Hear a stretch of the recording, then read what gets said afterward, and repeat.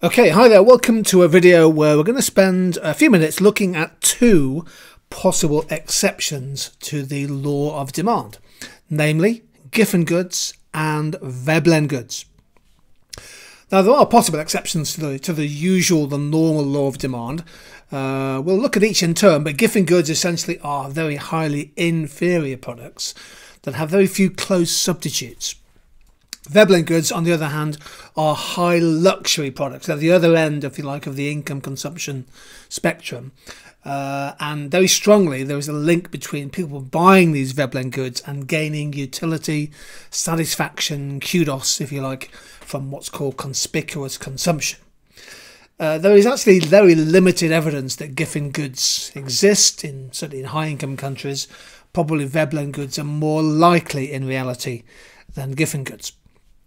Quick recap before we look at the two on the law of demand. The law of demand states that other factors remaining the same, or ceteris paribus, the quantity bought of a good or service varies inversely with the price charged. And uh, if prices fall, we see expansion of demand.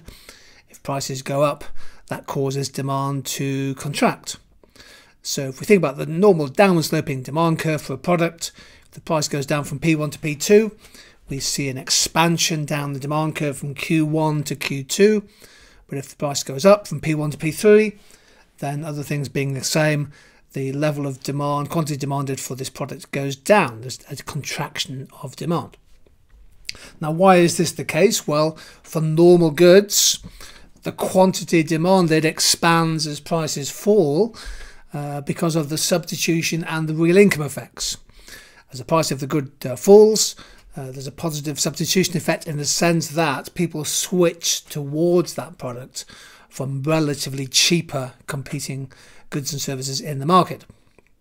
And of course, the cross price elasticity of demand tries to capture the size of that substitution effect.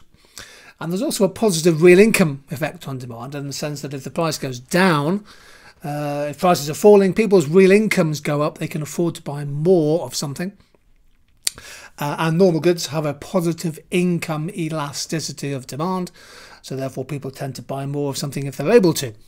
So therefore, if we combine the two, the substitution and the income effect, working in the same direction, in the sense that when prices go down, we expect to see an expansion along the demand curve. Well, Giffen goods and Veblen goods, in theory, provide a counterpoint, an exception to that law of demand. Giffen good and here we see the picture of Sir Robert Giffen, uh, who died actually before the First World War. Giffen good is essentially a product where if the price goes up, uh, we might see an increase in demand. And this is because the income effect is so strongly negative in terms of people's ability to buy the goods and services that it, uh, that it actually outweighs the, the substitution effect. Now, all Giffen goods are inferior goods, but not all inferior goods are Giffen goods. So typically Giffen goods, things like own label, pasta, rice, bread, for example, often with, with particularly low income families and households, they take up a quite a, a chunky percentage of the disposable income of lower income families. And higher prices for these products are such a drain on real purchasing power that people to maintain their if you like their calorific consumption, their basic living standards, they they have to cut back on other things because they become less affordable with real incomes going down, and therefore people may just buy more of these. Um, they're forced to curtail less of spending on other things, and they tend to buy more basic basic products. Hence, demand might go up as uh, when prices are rising. A Veblen good is very different to a Giffen good. Uh, Veblen good is a good where the demand goes up as price goes up because people enjoy the status, the kudos, that comes from conspicuous consumption of, in particular, high quality luxury products like jewellery or watches or very high priced designer clothes. The theory was first discussed by the American economist and sociologist Thorstein Veblen. Uh, here he is pictured, and he wrote a, a book called The Theory of the Leisure Class, the Leisure Class, in 1899. So Veblen goods are generally bought sought after and bought by fairly high income affluent consumers who place a premium on the utility of the good. People get satisfaction from being seen by others to be consuming those high priced luxury goods, designer jewellery, expensive cars, because being seen to consume it is it indicates that you have a sufficiently high income to be able to afford the products. You flaunt your your wealth or your income in that sense. Linked to a Veblen good is the idea of a positional good, which I think is actually quite an important idea. So, positional good developed first of all by um, the American, so the Austrian British uh, economist and, and journalist Fred Hirsch. I think he died in the late 70s, pictured here. Fred Hirsch developed a of positional goods, goods that are valued only by how they're distributed amongst the population. So, high price, high luxury products are, if you like, status goods. They tell you where you are on the curve in terms of people's income and consumption. Um, and and high prices ration who can actually afford to buy and consume these positional goods. So high prices effectively ration, well, they, they cut the effective demand for these products. And therefore, when prices goes up, again, it's an indicator of relative position in the hierarchy of, of consumers. And, and some people want to buy more of those because it gives them that position in a distribution. Going back to Giffen goods, why might demand increase when the price of a Giffen good goes up? Well, Giffen goods typically have very few close substitutes. They're basic products which don't really have many substitutes in their own right. And critically, they have a very highly negative income elasticity of demand.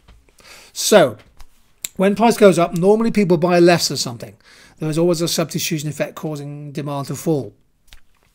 But in the case of Giffen goods, that, that effect is really quite low, it's quite limited because there just there aren't many available suitable substitutes.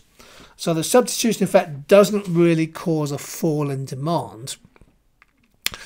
Whereas when prices go up, real incomes go down.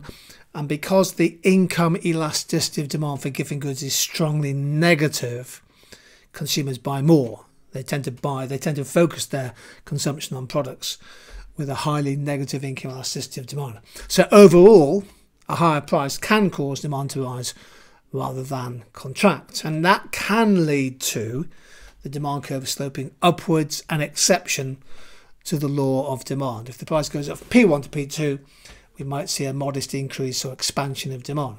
Highly unlikely to be a significant increase, but it can possibly happen. And this is the demand curve, which is sometimes called the perverse demand curve, which slopes upwards from left to right. Just a minute or two on extension analysis. Not every exam board requires you to use indifference curves. So if you don't, you can quite easily skip to my final slide. But just very quickly, indifference curve and diagrams. Let's take two goods, good X and good T. Good T, by the way, is going to be an a Giffen good. There's our budget line showing what we can afford to buy. And we assume that there's a big increase in the price of tea, good tea, income remaining the same. So the budget line shifts to the left or pivots. We can still buy the same amount of good X, but we can't buy as much as, as we could before with good tea. Effectively, real income though, the price of good tea has doubled effectively. So the budget line shifts to the left, and this might cause the equilibrium choices of the consumer to change. This is the consumer equilibrium where the indifference curve is tangential to the budget line. So initially, demand for good tea is D1, but at the new budget line, we have to move on to a lower indifference curve, IC2. And you can see here that the way that the indifference curve have been drawn and shaped, the equilibrium is a big fall in quantity demanded of good X, but a small increase in the quantity demanded of good T, despite the fact that the price of T has gone up, uh, precipitating an inward shift of the budget line. So this would be an, an Giffen good using indifference curve analysis. Now, if you want to get to the next level, I haven't included the income and substitution effects on this diagram. I've just shown two indifference curves, two equilibrium points, where when the price goes up for good tea, people actually end up buying more of, of that product. Hence a Giffen good. There's another alternative explanation. Why do people buy more when prices are rising? Well, in part that might be because people expect or forecast a further price increase. So you might be buying, I don't know, wheat or something, you might be buying copper, or you might be buying antiques, not for their own intrinsic value or usefulness, but because you think the price is going to go even higher in the future.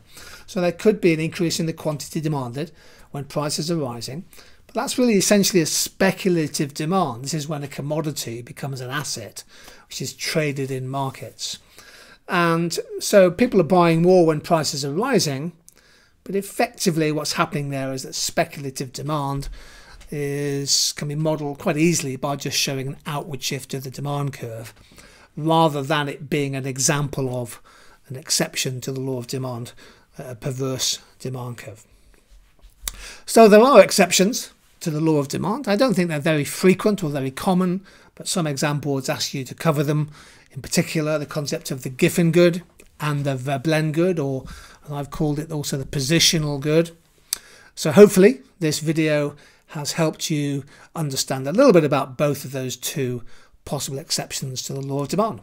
Huge thanks for joining in once more. Stay safe, stay well, look after yourselves, and please pop by sometime soon.